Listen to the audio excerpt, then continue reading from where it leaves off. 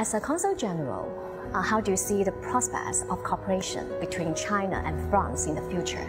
I think that uh, cooperation between uh, France and China, and in particular France and the southern part of China, um, is a long cooperation, ancient and rich cooperation in many fields. Uh, I try my best to develop the relations and the partnership in the economic fields. Uh, the second great field is the cooperation in the universities, research, education uh, areas.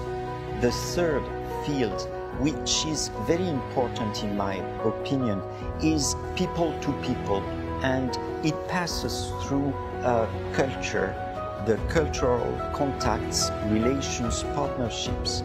It's very important to let the French people uh, have uh, more knowledge about the Chinese culture, in particular of the southern part of China, and of course to make the Chinese people have access to the French uh, culture.